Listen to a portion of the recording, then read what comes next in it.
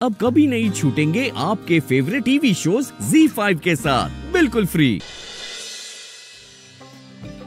माँ तुम ये क्या कर रही हो? अरे आज गुड़ी पड़वा है ना?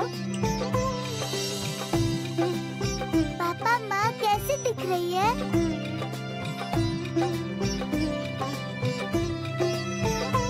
गैरी कौन आया है?